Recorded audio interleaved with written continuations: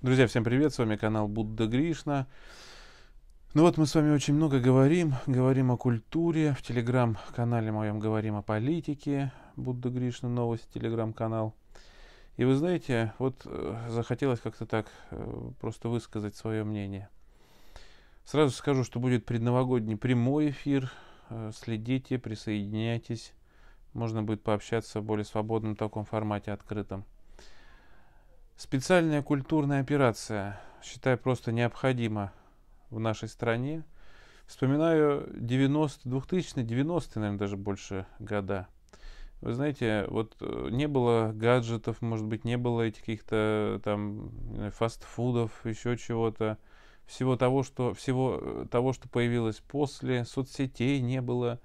Ну, как-то все были, не знаю, мы э, добрее, что ли, и время какое-то было другое. Играли дети в снежки на улицах, не сидели за этими гаджетами сутками. Э, ладно, сейчас сидишь, но уже, так сказать, э, седые волосы появляются. Но я имею в виду, когда детьми-то мы были. А сейчас на детей посмотришь, они эти гаджеты, эти телефоны, эти компьютеры, эти стрелялки, игры читает мало кто что-либо вообще. Спросишь про классику, кто ничего не знает вообще. Кто-то хвастается, что он вообще ничего не читает.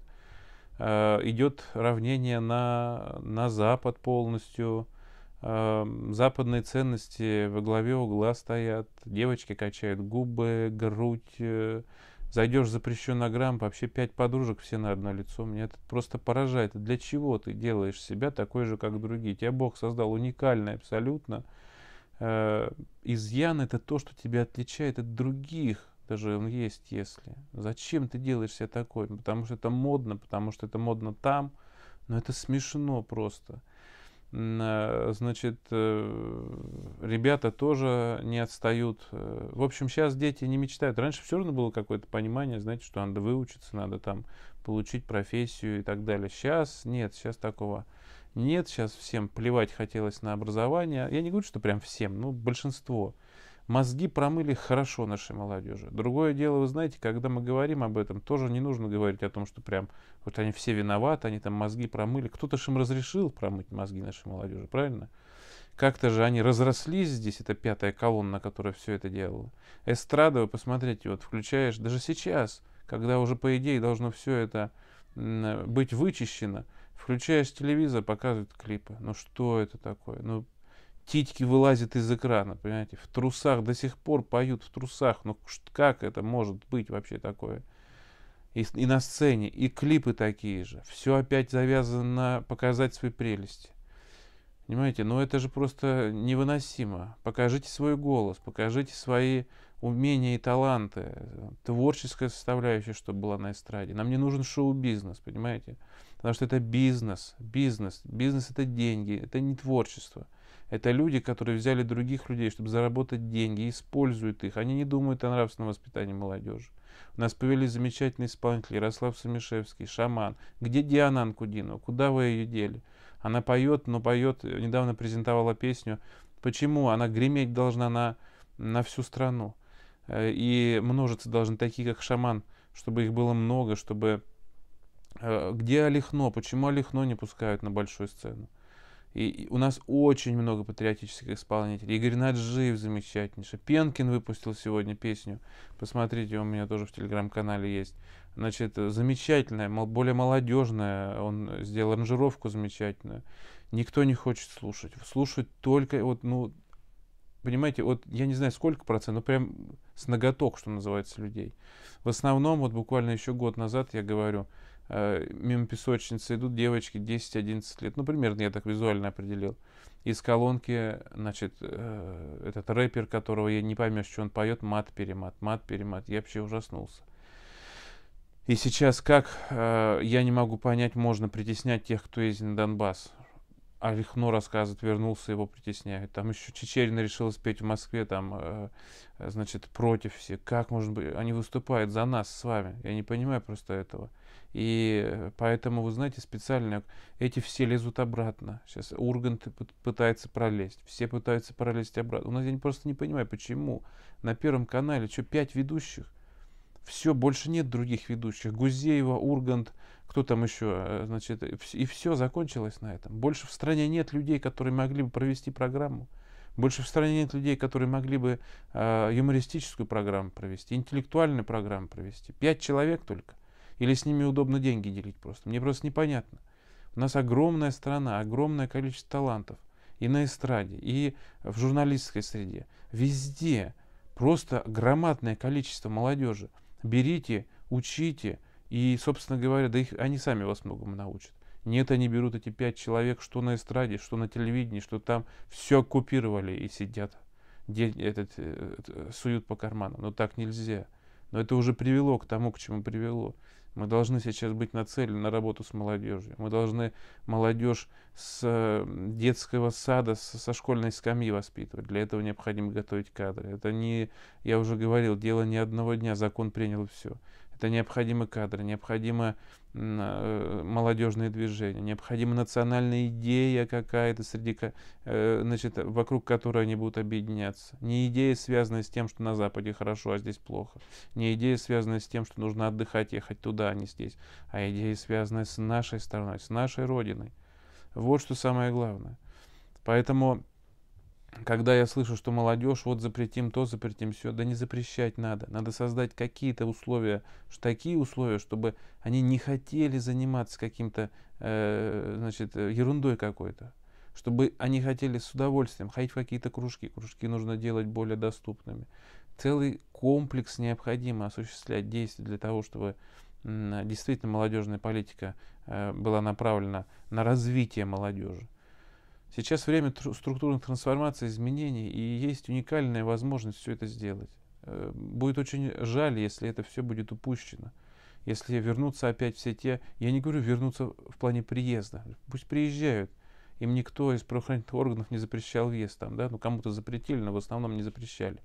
Но не допускайте их до того, чтобы они опять оккупировали все это, эстраду, театры, а, значит, э, телевидение и так далее. Сделайте вы нормальных руководителей федеральных телеканалов, чтобы они сделали нормальную сетку вещания. Ведь раньше было много передач для подростков. Он Супонев делал, я уже сто раз говорил, до 16 и старше. И джунгли зовут для более маленьких. А сейчас что посмотреть? Можно было столько одному Гуревич ушел. Умники и умницы можно посмотреть. Это раз в неделю 20, там сколько или 30 минут. Раньше показывают подводные десятые команды Густо, клуб кинопутешественников, там, клуб путешественников.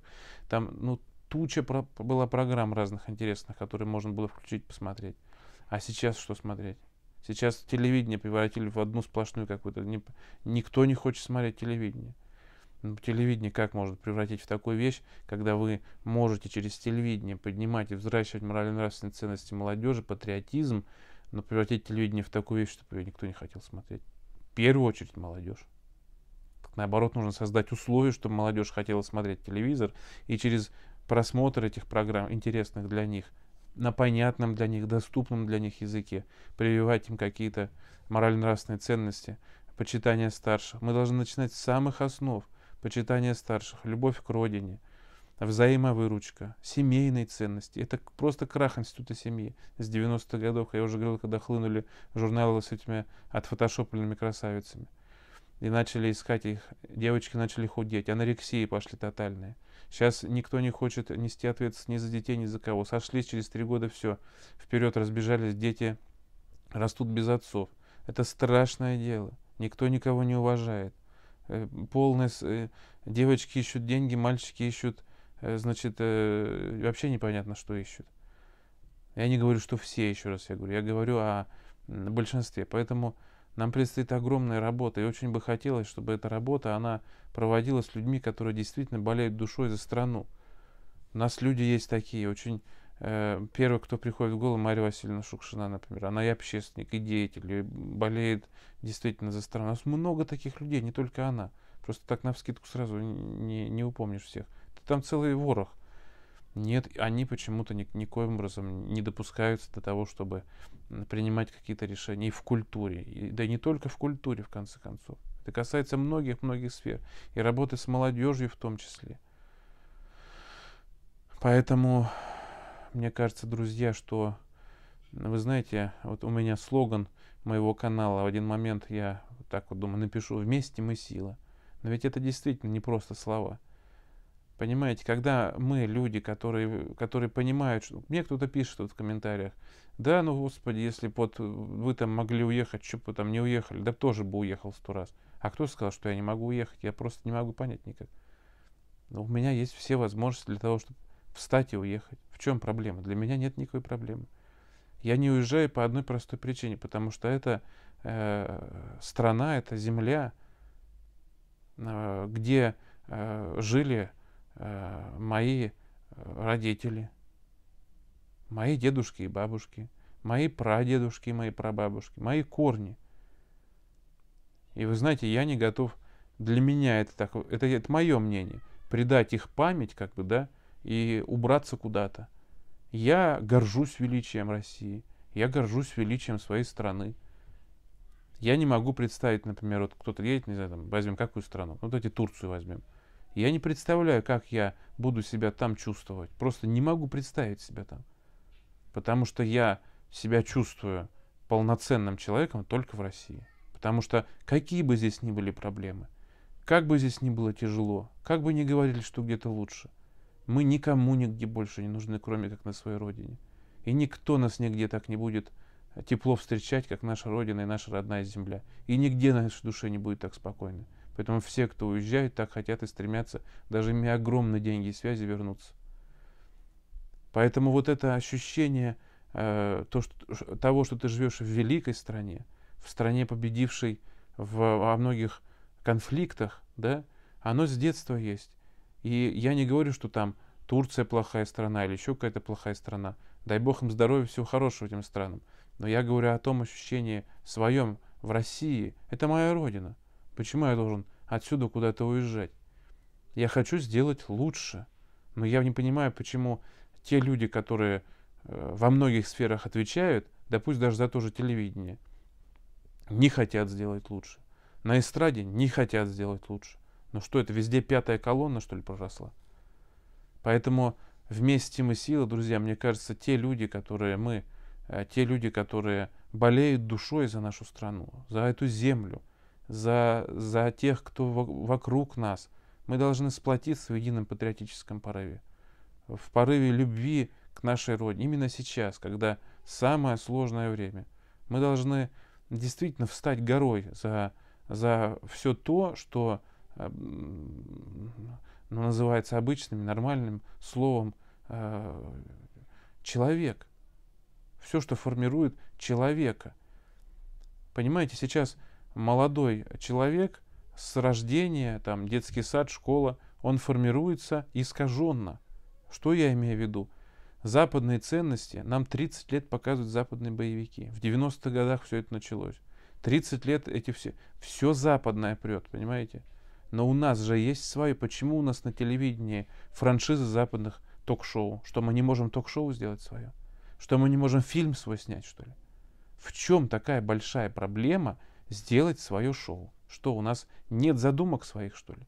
Ну возьмите вы 20-30 человек креативной молодежи, они вам столько ток-шоу нарисуют на бумаге. Вы замучитесь потом снимать. Почему там сидят одни и те же люди? Потому что они опять-таки получают деньги за это. Но у них фантазия уже не работает. Вы понимаете, что на ТНТ придумали на, э, в новогоднюю ночь переснять э, иронию судьбы. Но куда дальше уже? Они считают, что это э, перезапустит значит, иронию судьбы. Сняли всех, по кто э, за, эти, за этот год мало получил, потому что было мало концертов, мало всего. Всех, по-моему, там сняли, чтобы они там заработали как надо. И выпустили это все. И Бузова там, и Киркоров, все подряд. Все камеди пересняли там опять. Ну и куда дальше это? Без них никак нельзя. Обязательно нужно снимать пародии на советские замечательные фильмы. Но это же ужасно просто. Почему нельзя новый-то фильм снять? Ну возьмите, даже если тех же вам нужен, ну возьмите их, ну новую идею сделайте какую-то.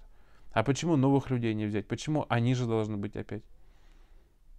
Понимаете, поэтому мое мнение, что э, предстоит огромная работа. И здорово было бы, если бы мы все-таки встали на эти рельсы и начали в этом направлении двигаться. Здорово, если бы действительно Э, мы увидели э, творчество, мы увидели, как наши молодые люди действительно э, вектор движения их корректируется в сторону нравственности, морали.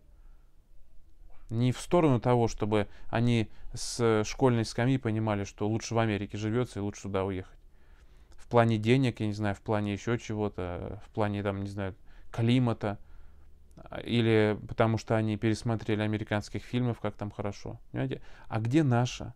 Почему мы не показываем? Они каждый, в каждом фильме спасают планету. В каждом кино, то от инопланетян. Вон э, Борисов вышел, и только кто, кто, кто, кто, это контактерша сидела. Ну вышел он на контакт. Ну чего вы не сняли, что значит мы вышли на контакт, спасли планету? Где наши фильмы, что мы спасали? А сколько мы раз на самом деле ее спасали? Сколько мы на самом деле наш народ спасал планету раз? Об этом нужно снять 100 фильмов, понимаете, и показывать их по всему миру. Они придумывают, что они спасали планету, а мы ее на самом деле спасали. И где об этом фильмы? Есть советские, а где наши этого дня? Все одни сериалы нашел, расследовал и так далее. А где эти фильмы? Или какие-то э, ремейки какие-то, или, э, значит, э, почему, а почему иностранные слова постоянно везде? Или переснимают советское, или, значит, э, снимают по лекалам западных фильмов. Почему наши не сделать опять? Ну, неужели мы совсем настолько уже забыли об этом? у меня просто есть подозрение, что на ключевых позициях пятая колонна натурально находится, которая не желает просто-напросто видеть в многонациональном народе России, наиталантливейшем народе, наиталантливейшем, действительно таланты, которые плодит просто российская земля и допускать их до этого. Допускают выборочно, единично. Можно говорить, друзья, на самом деле без перерыва. И кто-то пишет, а зачем говорим, чем мы поговорили? Поговорили, ничего не изменилось. Многое меняется. Многое меняется. Да, это может быть единичный случай. Но знаете, если вообще не говорить, мы 30 лет молчали. 30 лет. Нам 16 лет Дом 2 показывали. Еще что? Давайте еще помолчим. Давайте еще помолчим. А что? Наконец-то люди стали говорить, наконец-то люди стали высказываться, стали создаваться какие-то какие инициативные группы, которые э, своей целью ставят самое главное не разрушение, а предложение того, как сделать лучше. Вот что самое главное. Нужно четко понимать, что есть люди, которые хотят разрушения нашего государства. Они предлагают все, чтобы разрушить, они делают все, чтобы разрушить. А есть люди, которые в рамках законодательства предлагают, что сделать, чтобы было лучше. Вот это самое главное. На эти силы нужно опираться. Друзья, пишите ваши комментарии, что думаете на сей счет. С вами был Будда Гришин. Подписывайтесь на канал, кому интересно. Ссылочку в закрепленном комментарии в описании к видео для поддержки канала. Кому нравятся мои ролики, можете поддержать канал Будда Гришна. Подписывайтесь на мой телеграм-канал Будда Гришна Новости. Там новости в формате 24 на 7, плюс мои ролики на остросоциальные политические темы. Друзья, здесь на YouTube есть канал Будда Гришна Новости. Он резервный, запасной. Подпишитесь, чтобы мы с вами просто не потеряли в случае чего. Успехов, здоровья, всем пока, до встречи.